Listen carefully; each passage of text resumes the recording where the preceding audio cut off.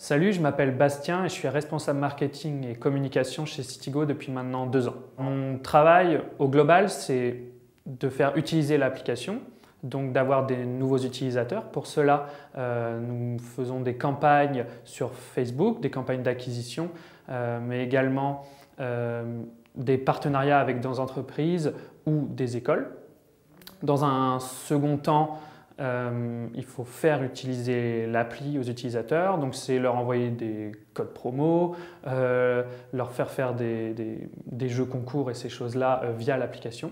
Et dans un troisième temps, c'est répondre à toutes leurs questions, à leurs interrogations grâce au service après-vente. donc à la relation client qui est quelque chose de très important chez nous. dans un un peu à côté, c'est aussi mon métier, c'est d'améliorer l'application. Euh, donc via les, retours des utilisateurs, en fait, on les recense et euh, on essaie d'améliorer l'appli au quotidien pour euh, répondre vraiment à leurs besoins.